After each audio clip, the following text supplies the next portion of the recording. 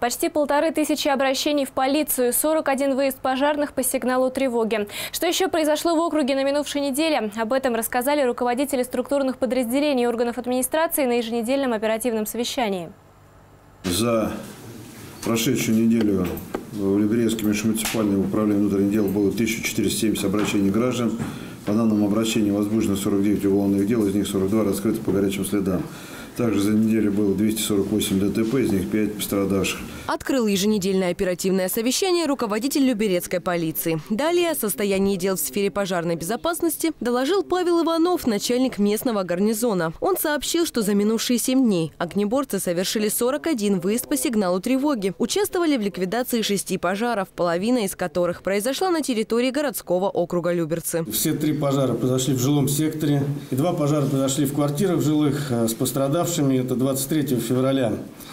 Э, город Люберцы, улица Побратимов, дом 27А, квартира 6. Э, в результате в двухкомнатной квартире обгорела мебель. Э, После с докладом выступил Дмитрий Шумский. Начальник управления ЖКХ рассказал, что в крупных аварий на сетях не наблюдалось. Все сбои исправлялись оперативно. 20 февраля в 14.30 произошло технологическое отключение ТП-504. Без электроснабжения в городке Б находилось 18 МКД, ТП-1 и детское дошкольное учреждение. Были проведены все необходимые мероприятия по переключению схемы электроснабжения. Кроме того, на заседании стало известно, что в связи с аномальным похолоданием капитальный ремонт домов в городском округе временно проводится в ограниченном режиме. Работы на кровлях приостановлены. Однако, как отметили на встрече, крыши активно расчищают от снега. Только за минувшие выходные коммунальщики убрали 278 кровель. Также от обильных осадков избавляются и на дорогах. Э, Раменским РОАДом э, на сети автодорог регионального класса были проведены работы по очистке снега анализе мусора, обработки ПСС. Задействовано свыше 30 человек э, и 30 э, единиц спецтехники.